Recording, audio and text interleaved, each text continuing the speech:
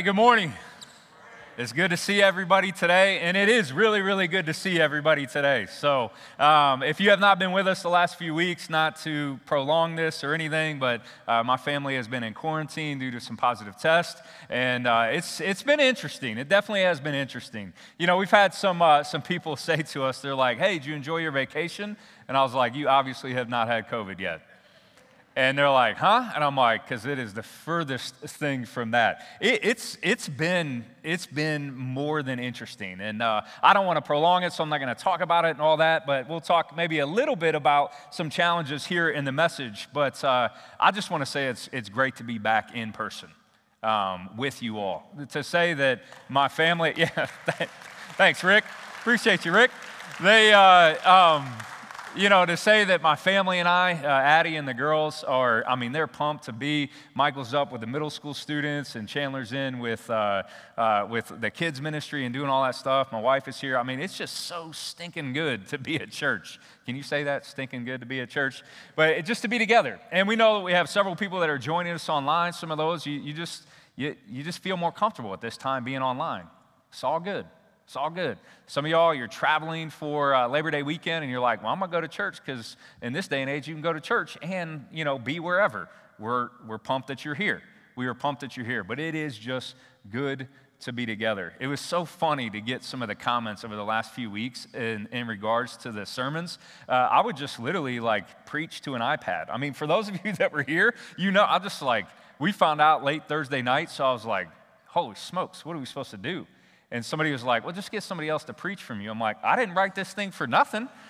And, you know, and so I just like hit the iPad record. I talked to DG, our tech director, and I'm like, I'm just going to preach to the iPad. But if you have an iPad, I got one of those ones with a keyboard, so the camera's on the left side, you know, so I'm just like preaching like this the whole time.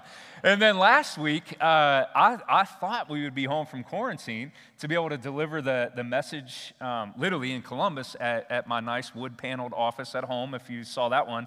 And, uh, but we needed to stay down a little bit longer, so I was in a campground, Rob and Michelle, Picnic Point. We used to take the junior high kids all the time at the lake. I, we were little. We took junior high kids there for years, and I just ponied up on a picnic table and hit the record button, and here we go. And somebody, literally, somebody says, they're like, you know, that fake backdrop was just so beautiful. I'm like, it wasn't fake. That was the real deal. That was the real deal. But it's good to be back. We got a lot to get to this morning, uh, and I'm already going to warn you that there I may go a little bit over, even though I shouldn't. I got my trusted stool here because the fatigue is still a real factor, and I don't want to pass out. And then you know Austin or Lee or Tom or somebody's going to have to get up here and just start going, or Scott's just going to start making up songs so we can go through the service. So I may sit down a, a few times.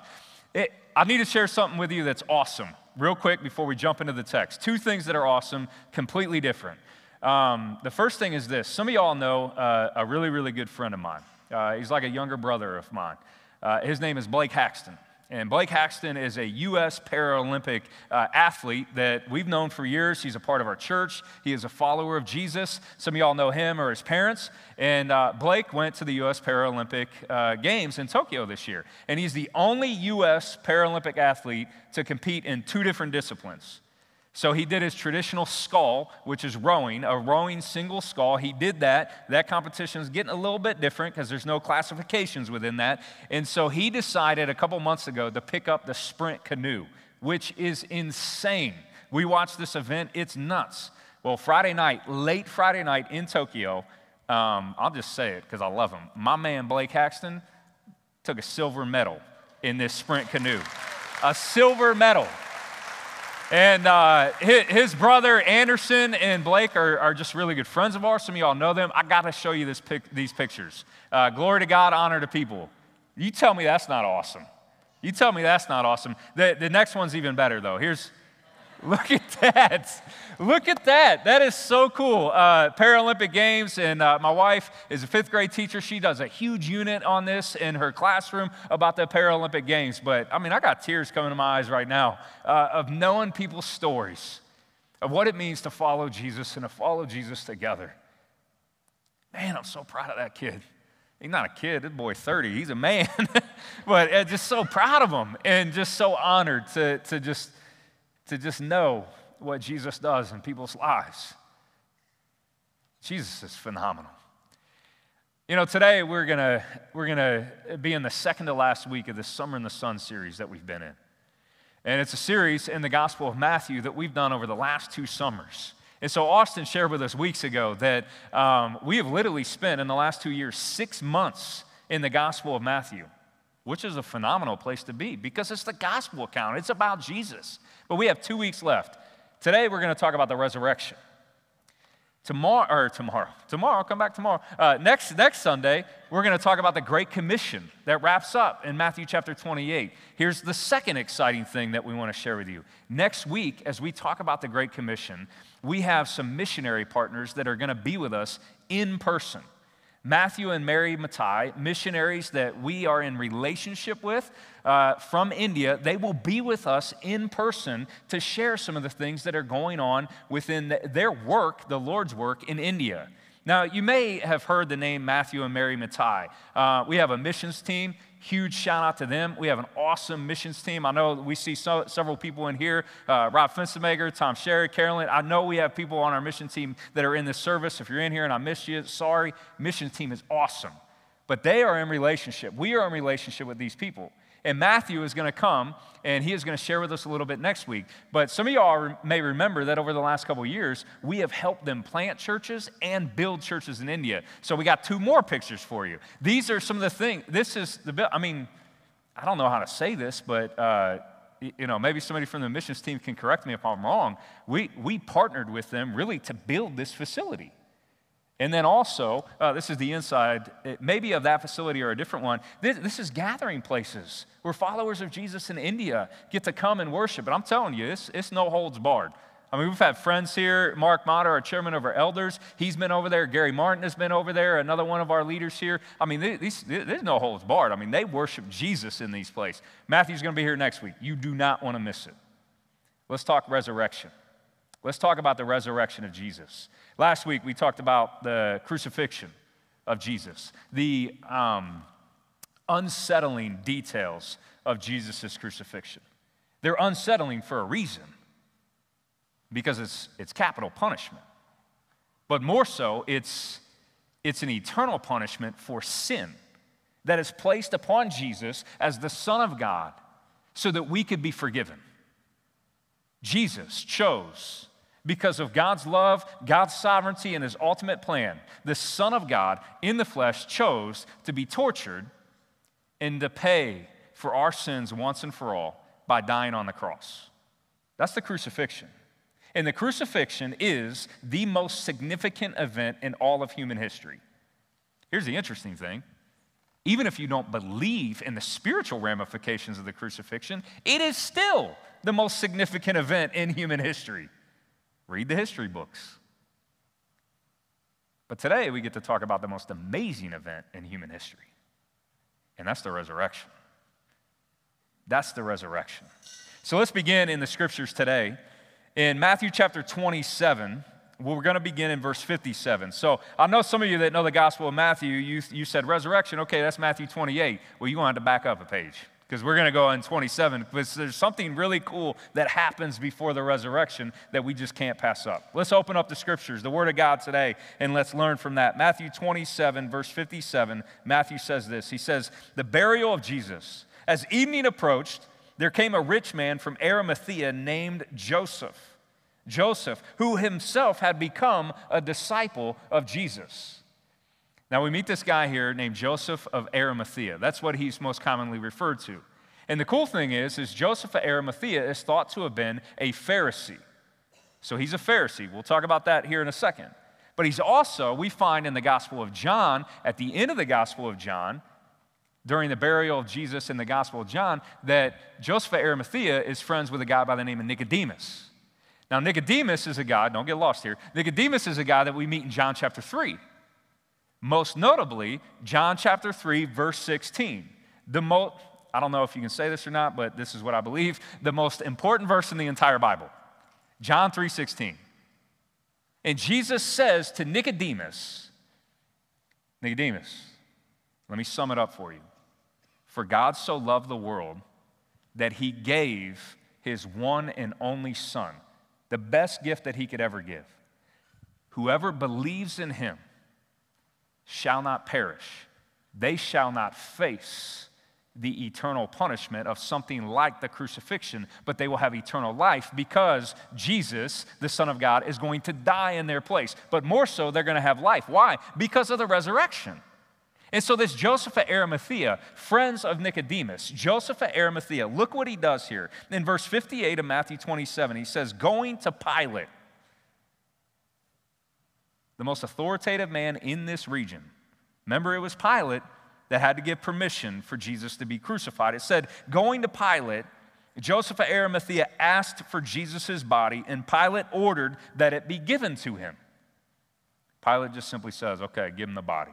But that order has to come from Pilate. Verse 59 Joseph took the body, wrapped it in a clean linen cloth, and placed it in his own new tomb, new tomb that he had cut out of the rock.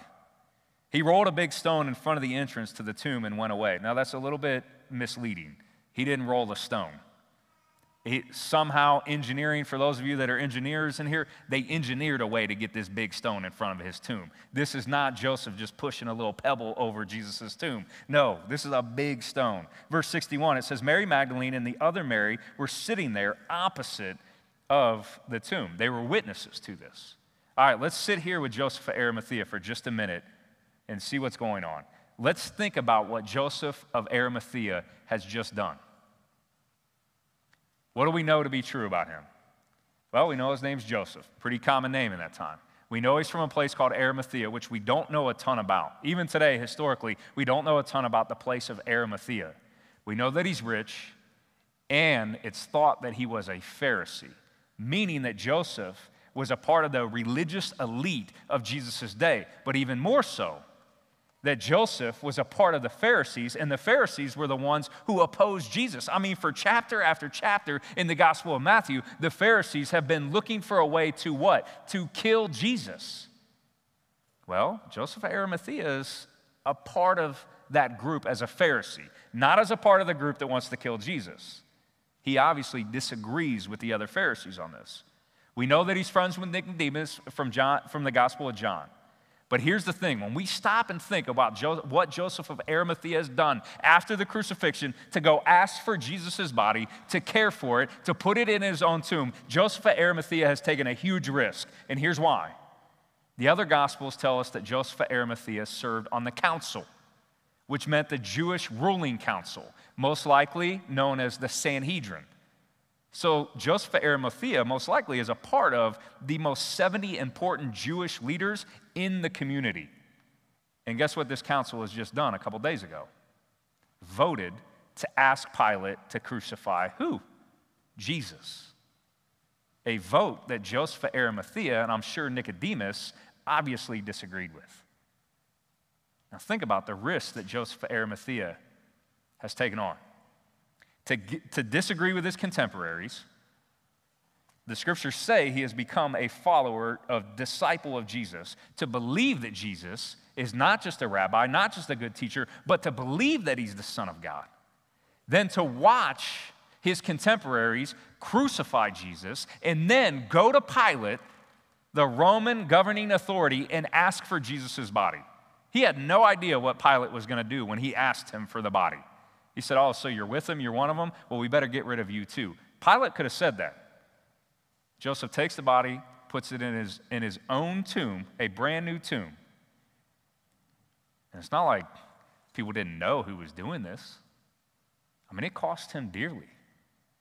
You think about this. You think Joseph of Arimathea's social status changed when he decided to follow Jesus?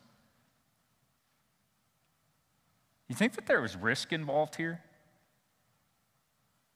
I mean, you think, you think about this.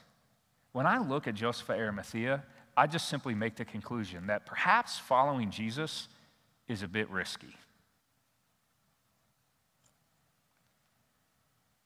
I mean, when I look at his example, and that's why we're not even into the resurrection yet, which is what we're supposed to be talking about today.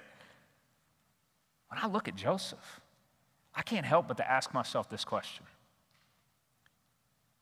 Jay, how has following Jesus been difficult for you in your world? How has following Jesus been difficult for us in our world? You know, what, what decisions have we had to make in this day and age that have been difficult for us because they're different than the decisions of others because we follow Jesus? You know, how many difficult conversations has, has Addie and I, as my wife and I, had to have with our girls about the way of the world in the way of Jesus because we as a family have chosen to follow Jesus and to claim Jesus as the Son of God. How many difficult conversations have we had, had to have? You know, has there been a time in, in, our lives recently where we've had to trust Jesus with something, something that's very near to us, that is very difficult for us, and we had no idea what the outcome was going to be? We just simply were just called to trust Jesus. How has following Jesus been difficult for me in my world? It was difficult for Joseph of Arimathea. It was difficult for the disciples. You keep reading on in the New Testament, it's difficult for Paul. It's difficult for the women here, Mary and the other Mary. Yeah, there's some risk to following Jesus. I think we can feel that this day and age, can't we? There's risk in following Jesus. Now let's get to the resurrection piece here. Because while the cross changes everything, the empty tomb, the resurrection, gives us hope, always gives us hope, no matter what. So let's open up Matthew 28 and let's go to verse 1. In Matthew 28, verse 1, the resurrection account in Matthew's gospel, Matthew writes this He says, After the Sabbath, which is the day of rest, love to talk about that sometime. It says, At dawn on the first day of the week, Mary Magdalene and the other Mary went to look at the tomb. Verse 2 There was a violent earthquake, for an angel of the Lord came down from heaven and going to the tomb, rolled back the, rolled back the stone and sat on it. I think that's awesome. This angel comes down and he rolls back this, this huge stone from Jesus' tomb, and then he just chills. He just hangs out on the stone. He's like, There you go. I don't know if he's waiting for Jesus to walk out. I don't know if he's waiting for other people to come, but he's just hanging. Now look at verse 3, what it says. It says, His appearance, the angel's appearance, I believe, was like lightning, and his clothes were white as snow. Verse 4 is hilarious. Here's why. The guards were so afraid of him that they shook and became like dead men. These are guards. You know, the section before this, Eh, the, the Pharisees, the religious leaders, are going to go to Pilate and said, hey, this guy said that, you know, he, he he's going to raise from the dead. You know, we've heard some rumors about this. Guard the tomb because his disciples are going to try and come steal his body and say, hey, he's defeated death. He is the Messiah. And so Pilate's like, okay, yeah, let's throw some guards there. What, do you just think he took the rookies and put them out there? No, these are trained soldiers. I mean, these are guards. These are, you know, as, as my wife Michael will say, because of me, these are stone cold killers and they're guarding the tomb of Jesus. And what do they do?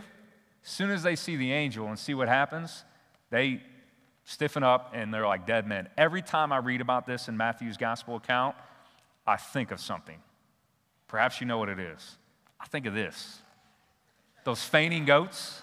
I don't even know what, what the, the scientific term for them is, but I mean, I like, wouldn't you love to have one of these for like a week? I'm not saying for like ever, but just a week, put it in your backyard so that when you came out, you could go, whew, and it would just bam, it would pass. There's uh, some of y'all know Garrick Thompson. Garrick's been a part of our church for a long time. For some reason, Garrick and I always talk about these things. We're like, it would just be cool for a couple days to just like, but I think this, these are trained soldiers. These are guards, and they go down like the fainting goats as soon as they see this. But there's a paradox here. Look at what happens in verse 5. The angel said to the women, okay, what the guards do? They fainted like the fainting goats. They're down. But the women, hmm, they're tough as nails. They don't do that. Look at this. The angel said to the women, Do not be afraid. One of 365 times, this phrase, do not fear, do not be afraid, appears within the Word of God. Do not be afraid. For I know that you are looking for Jesus who was crucified. The uh, new translation of verse 6 says this He gone. He gone. He's not here. He has risen, just as he said. Come and see the place where he lay. Verse 7. This is the best verse, in my opinion. Verse 7 is the best verse in the resurrection account in Matthew's Gospels. It says, Then go quickly and tell his disciples, He has risen from the dead. He has risen from the dead. Uh, a great author who I love, his name's Bob Goff. You should read his stuff because he's really encouraging. But I love when Bob Goff talks about the resurrection of Jesus because he says it like this He said, Jesus done kicked death in the teeth. He kicked death in the teeth. He said, He has risen from the dead. Look at this. And He is going ahead of you. He is going ahead of you. And it says, into Galilee. Go and tell the disciples that you will see Him here. But I love this verse. He has risen from the dead. He's not here.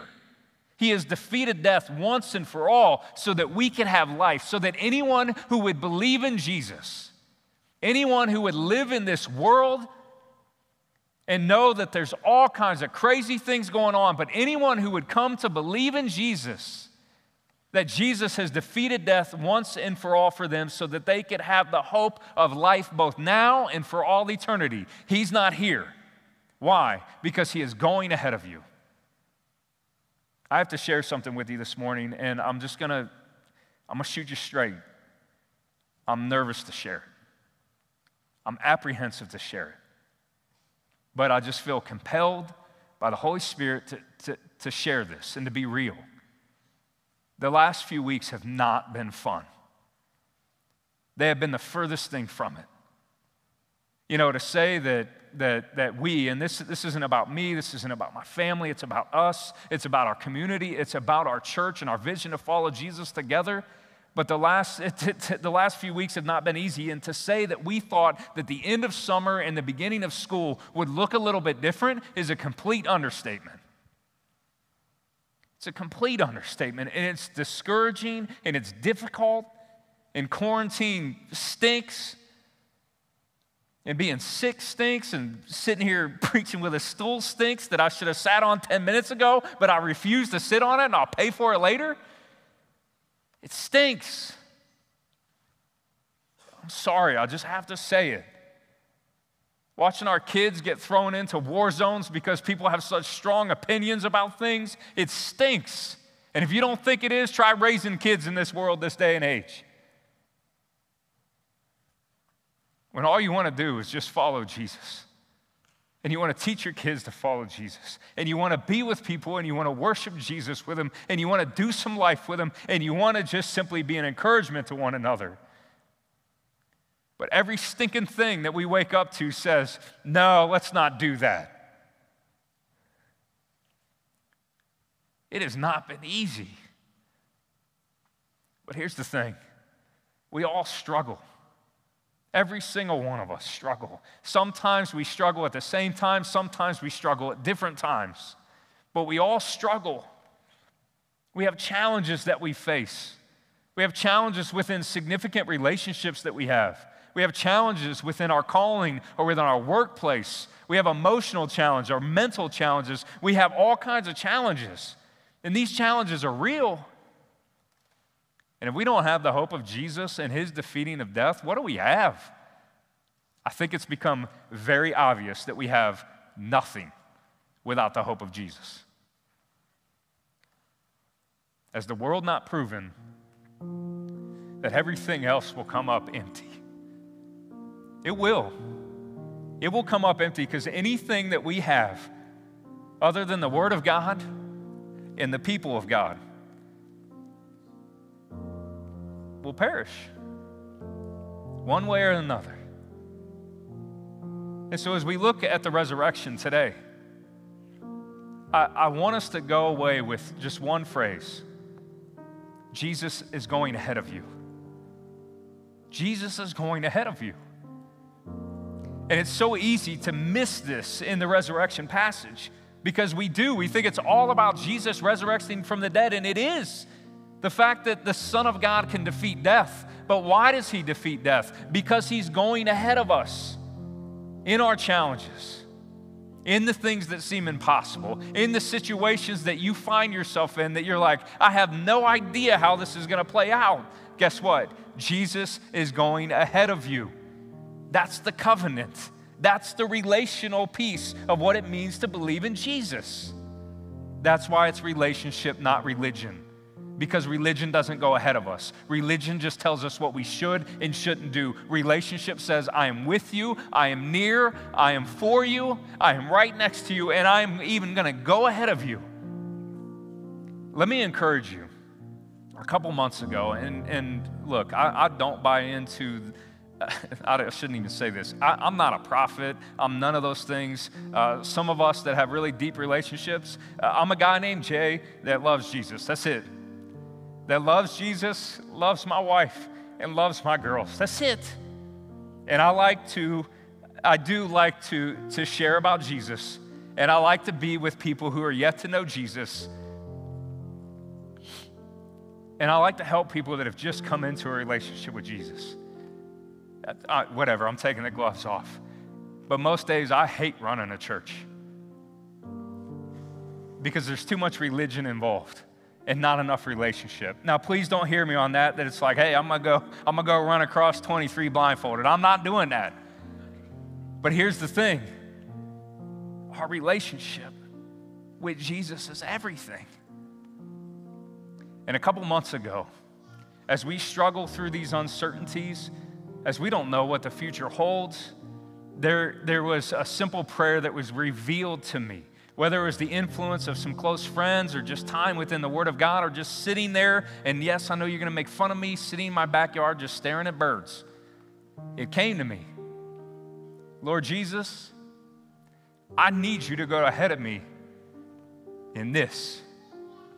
And I want to encourage you with that prayer to adopt that prayer. Lord Jesus, I need you to go ahead of me and you fill in the blank. What is it? Is it a relationship that you're not quite for sure where this thing's going? Is it something that, that is broken? Is it a loss? Is it grief? Is it anxiety? Is it uncertainty? What, what is it for you? I'll tell you what it is for me. It's anxiety. Lord Jesus, I need you to go ahead of me because I don't know why I wake up anxious more days than I would, I would care to admit. Because, dad, gone, things are so uncertain right now. Where do you need Jesus to go ahead of you? You fill in the blank. But know this the resurrection, that's the promise. It's the promise that because Jesus is the Son of God, He says, Believe in me. Let me walk with you, and I will go ahead of you, both now and for all eternity. I will not just prepare a place for you in heaven, I will play, prepare a place for you today and for tomorrow and for every day on this side of eternity. Where do you need Jesus to show up? Where do you need Jesus the most? Let me encourage you, fill in the blank. Lord Jesus, I need you to go ahead of me in this. The resurrection account ends this way. I'm already over time, so let me just simply say this. Mary Magdalene and the other Mary, they go to the tomb. And the angel just simply says, Hey, don't be afraid. They see Jesus. Jesus says, Don't be afraid. Jesus shows up. He shows up. And it says, he says, Go and tell my disciples that I'm going ahead of them. And it says that Mary, Magdalene, and the other Mary, afraid, yet filled with joy, meaning it's okay to be afraid. Let's do this. I need to wrap this up, but let's do this.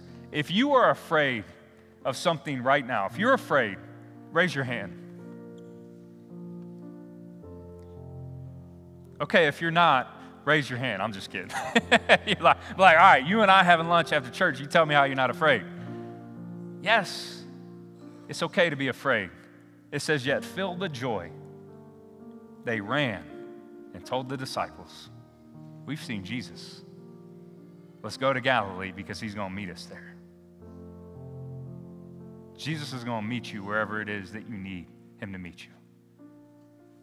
Last thing, Jesus is omnipresent, which is awesome, because it means he has the ability to be right here, right now, and he is. And he can be ahead of us. He can. He just simply says, Trust that my grace is sufficient for you and my love is made perfect. My love is made perfect, even though your circumstances are far from perfect. Let me pray for us. Lord, thank you. Thank you that you are with us. Thank you that you promised to go ahead of us. And Lord, uh, we adopt this simple yet profound and effective prayer. Lord, we need you, and we need you to go ahead of us. Lord, we just simply ask for what we refer to as a, a go ahead. Lord, go ahead, please. So, Lord, as we come to a time of reflection and remembering through communion, we're going to ask for a go ahead. And we're going to fill in that blank specifically. And maybe there's multiple things that need to go in that blank. That's okay. You say, Cast your burdens on me because I care for you. So here it is, Lord. Thank you for your love for us and that we can approach your throne of grace with confidence because of what you have done for us, not because of what we have or haven't done. It's in Christ's name we pray these things. Amen.